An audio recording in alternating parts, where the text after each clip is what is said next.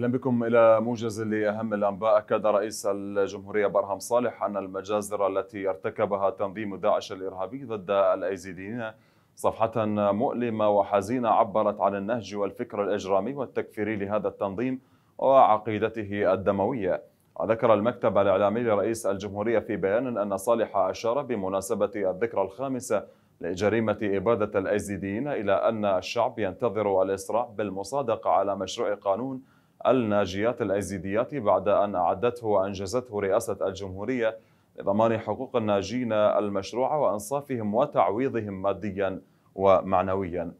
إلى ذلك دعا النائب الأول لرئيس مجلس النواب حسن كريم الكعبي لتكثيف جهود جميع الجهات المعنية للإسراع في إعادة إعمار سنجار مطالبا بإقامة نصب تذكاري في قلب سنجار للشهيد الطيار ماجد التميمي الذي استشهد خلال حادث تحطم طائرته الهليكوبتر أثناء عملية تحرير وإيصال المعنويات للمكوبين في الجبل. وقال الكعبي بحسب بيان لمكتبه أن ضحايا داعش من الأيزيديين لا زالوا بحاجة إلى دعم حكومي على مختلف الصعد مؤكدا على ضرورة أن يأخذ المجتمع الدولي دوره في ملاحقة الجنات ومحاسبتهم على كل ما ارتكبوه من فظائع إجرامية ووحشية يندى لها الجبين. هذا وأقيم في العاصمة بغداد مؤتمر يزدى الثالث لاستذكار الإبادة الجماعية للأيزيدين في سنجار ومناطق أخرى من محافظة نينوى بعد خمس سنوات على مرورها حيث طالب المجتمعون بتحقيق العدالة والأمن وإعادة الإعمار لمناطق تلك الشريحة التي عانت الكثير من ويلات داعش الإرهابي. تمر الذكرى الأليمة الخامسة لدخول داعش إلى مدينة سنجار وقراها الآمنة. في جريمة تضاهي في بشاعتها أخطر جرائم الإبادة التي يعرفها التاريخ في سياق سلسلة الجرائم والانتهاكات التي ارتكبها داعش في باقي المناطق آنذاك. لتحل هذه المناسبة وهي تستنهض فينا جميعا قيم الشجاعة والصبر والعمل من أجل سنجار وأهلها بعد هزيمة مجرمي داعش واندحار أعتى عصابة عرفها تاريخ البشرية بجهود وبسالة أبناء العراق من القوات المسلحة بمختلف صنوفها وقوات الحشد الشعبي وقوات البيشمركة والحشود الوطنية الأخرى.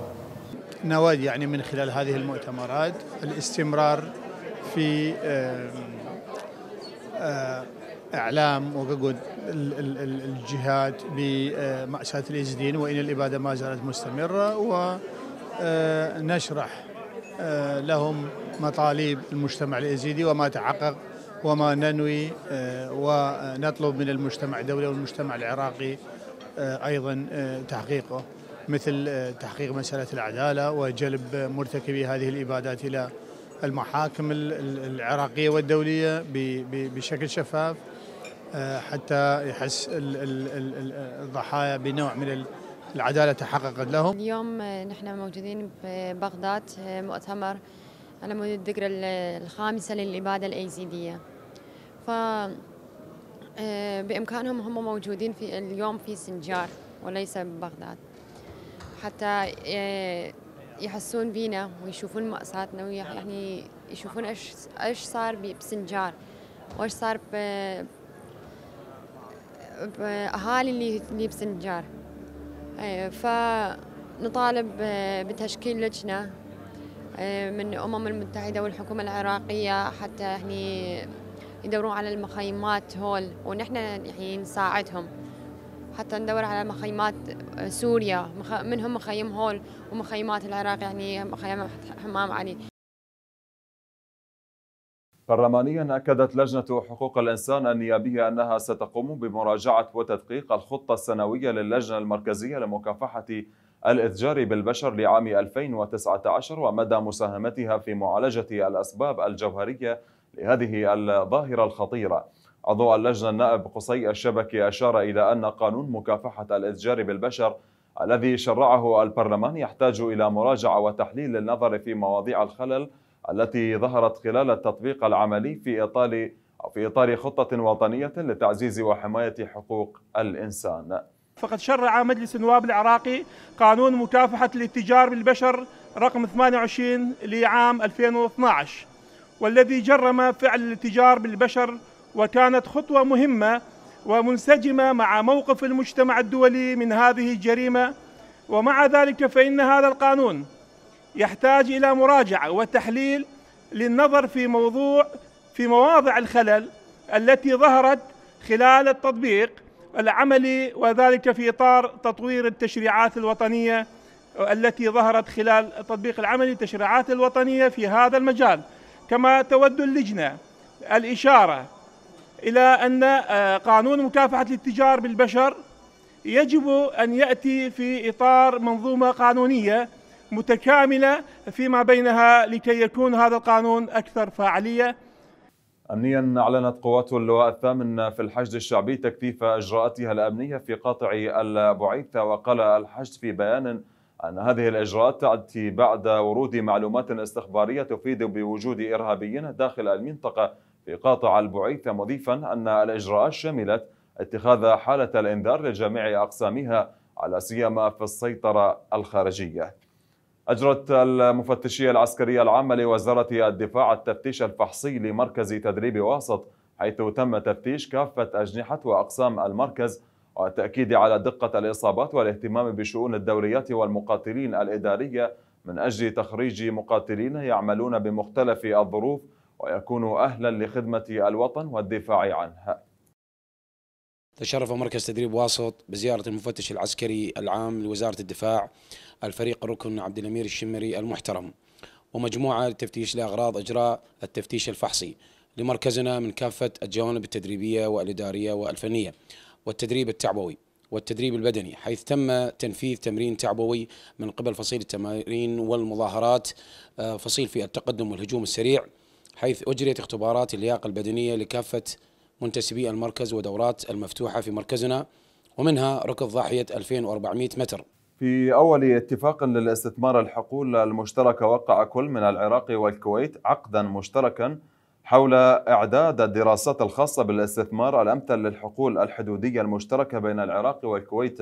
وقال رئيس الجانب العراقي عبد المهدي العميدي في بيان أن التوقيع على العقد جاء تتويجا لأعمال اللجنة العراقية الكويتية وهي خطوة مهمة لتعزيز أواصر العلاقات الثنائية بين الأشقاء وتأكيدا على حرص الحكومة والوزارة على حل جميع المسائل العالقة بين البلدين والعمل على توسيع آفاق التعاون بينهما في جميع المجالات ومنها قطاع النفط والطاقة. خدميا كشف محافظ البصرة أسعد العيداني عن إحالة عدة مشاريع للمحافظة ستصادق عليها وزارة التخطيط خلال الأسبوع المقبل. العيداني أشار إلى أن تأخير الشروع بالمشاريع الخدمية في المحافظة حاصل نتيجة الإجراءات الإدارية الروتينية. إحنا لحد الآن ما حنا ولا مشروع. هسه تقول ليش وإحنا بدينا باكر واحد ثمانية؟ نعم. وزارة التخطيط الأسبوع الماضي كملت لنا المصادقات. طبعا التأخير مو من مجلس محافظة ولا من محافظة ولا وزارة التخطيط. هذا الوضع الطبيعي أنه أنت يجب أن تصادق على المشاريع ويجب أن ترفعها المحافظة ووزارة التخطيط الصادقة. الأسبوع القادم سيشهد توقيع 100 إحالة. عربيا أكد البيان الختامي للجولة الثالثة عشر من مباحثات أستنا ضرورة تنفيذ الاتفاق حول إدلب مع اتخاذ إجراءات لحماية المدنيين وفق المعايير الدولية. هذا واعتبر رئيس الوفد السوري إلى محادثات أستنا بشار الجعفري أن البيان الختامي لهذه الجولة من المفاوضات هو الأفضل لسوريا من ناحية مضمونه السياسي ومقاربته للوضع فيها. نحن نشهد الحاضرين في أستانا على أن هذا الإعلان هو امتحان واختبار للنوايا التركية لذلك قلنا لذلك قلنا وقف إطلاق النار في إدلب مشروط بتنفيذ إعلان سوتشي. بدوره أعلن مبعوث الرئيس الروسي لسوريا ألكسندر لافرنتيف أن موسكو لن تسمح بأن يكون للمسلحين في إدلب. منطقة هدوء يتمكن فيها من احتجاز ثلاثة ملايين شخص كرهائن ورحب لافرنتيف بمواقف دمشق على هدنة مشروطة في إدلب. ووصف نتائج مشاورات اليوم بالإيجابية. نرحب بقرار الحكومة السورية لوقف إطلاق النار لكن الكرة الآن في ملعب المجموعات المسلحة وليس المعارضة المعتدلة. ومع ضرورة استقرار الوضع في منطقة خفض التصعيد بإدلب لن نسمح لأنفسنا بأن تتحول هذه المنطقة إلى منطقة هدوء حيث يمكن للمنظمات الإرهابية احتجاز أكثر من ثلاثة ملايين مدني تحت تهديد السلاح واحتجازهم كرهائن. وبشأن الحرب الحاصلة في اليمن أعلن المتحدث باسم قوات الحوثيين عن انطلاق صاروخ باليستي باتجاه معسكر للجيش السعودي قبال نجران ما أوقع عشرات القتلى والجرحى في صفوفه. وأكد المتحدث الرسمي العميد يحيى سريع أن الصاروخ البالستي أصاب هدفه بدقة عالية منوها إلى أن هذه الضربة أتت بعد عملية استخبارية دقيقة لتجمعاتهم. في المقابل نفى مصدر رسمي في التحالف الذي تقوده السعودية أنباء تداولتها وسائل الإعلام حول سيطرة قوات تابعة للحوثيين على مواقع عسكرية سعودية في نجران وجيزان خلال الأيام الماضية. وشدد المصدر على أن الجيش اليمني الموالي للرئيس عبد رب منصور هادي وبمساندة من قوات التحالف أصبح على عمق على عمق عشرات الكيلومترات في محافظة صعدة وحجة باليمن.